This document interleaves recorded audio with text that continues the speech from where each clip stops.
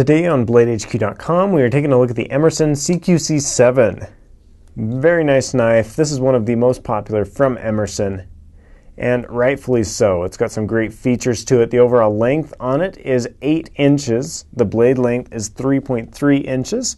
It's a Tanto style blade, and it is chisel ground.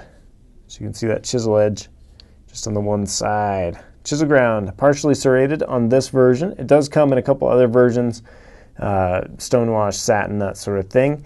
The handles are black G10.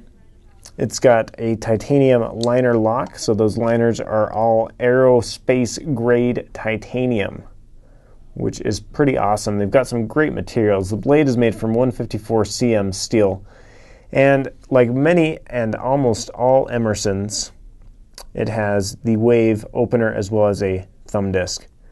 So Emerson has that wave patented, and it is a great little invention. Thank you, Ernie Emerson, for your contribution. Pretty sweet.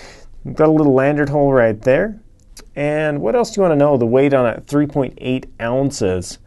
And this knife runs in the $154 range as well. It comes in a version without the wave. It's one of the few that uh, you can get it without the patented wave feature.